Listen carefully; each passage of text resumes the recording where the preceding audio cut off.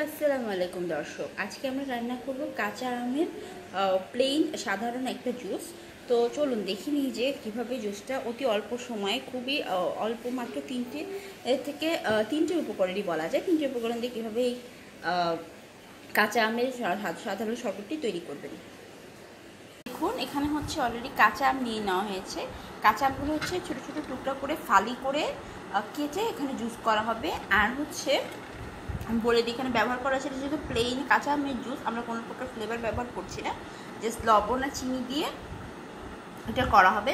আর মনে করেন অনেক সময় হচ্ছে আমগুলো একটু শক্ত হয়ে যাবে ভিতরে আটি থাকে, তো আটিটা সহ তো আর করা যাবে না, আটিটা ফেলে দিয়ে এটাকে ছোট করে পাতলা করে পিস করে দেন হচ্ছে ব্লেন্ডারে দিতে হবে। তো এখানে দেখুন, আমি একটু দিতে পারলে ভালো হতো যে এখানে হচ্ছে অলরেডি একটা মিক্স করে নেওয়া হয়েছে, এটা পুরোপুরি করা হয়নি। এখানে রাখা হচ্ছে কাঁচা আমের টুকরো দুটা কাঁচা আম ব্যবহার করা হয়েছে।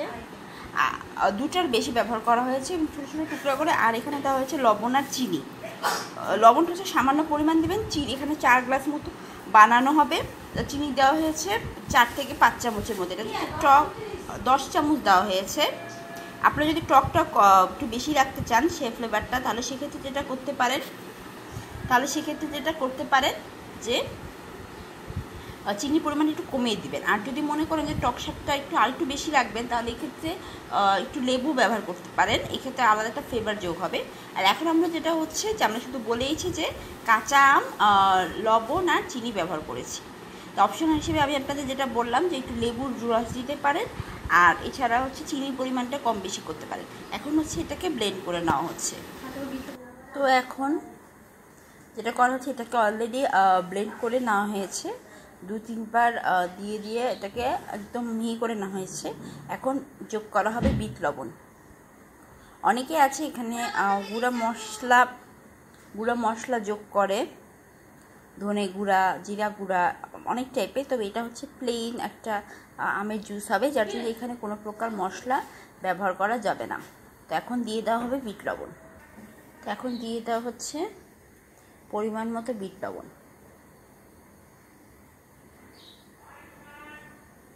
বিট লবণটা বেশি দেওয়ার দরকার নেই, তাহলে আবার অরিজিনাল যে ফ্লেভারটা সেটা একটু মিক্স আপ হয়ে যাবে।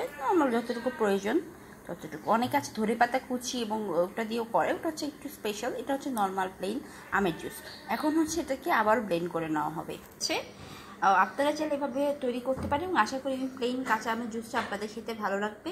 এছাড়া অপশনাল হিসেবে কী কী ব্যবহার করতে পারেন সেটা কিন্তু আমি বলে দিয়েছি। আমি চেষ্টা করব একটা ডেসক্রিপশন বক্সও উল্লেখ করে দিতে। এতক্ষণ সাথে থাকার জন্য আপনাদের সবাইকে ধন্যবাদ। যদি ভালো লাগে ভিডিওটি তাহলে লাইক করবেন এবং কমেন্ট করে জানাবেন যে আপনারা প্লেন জুসটা বাসায় তৈরি করে খেতে কেমন লাগল। চাইলে আপনারা ছবি কিংবা ভিডিও শেয়ার করতে পারেন। এছাড়া আমাদের চ্যানেলটি সাবস্ক্রাইব করবেন যেমন পাশে থাকা বেল আইকনটি প্রেস করে রাখতে পারেন যাতে কোনো নতুন ভিডিও আপলোড দিলে আপনার সাথে সাথে নোটিফিকেশন পেয়ে যান।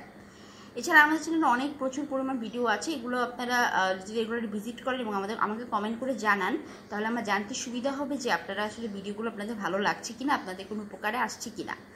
আর যেটা করতে পারেন যে নতুন কোনো ভিডিও যদি দেখতে চান, যেমন কোনো জুসের রেসিপি বা গরমকালীন কোনো রেসিপি তাহলে সেটা আমাকে কমেন্ট বক্সে মেনশন করতে পারেন।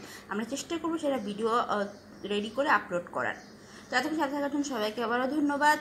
আর সবসময় যেটা বলে থাকি যে, আমাদের একই নামে রান্না ও সেলাই শিল্প ফেসবুকে একটা পেজ খোলা আছে।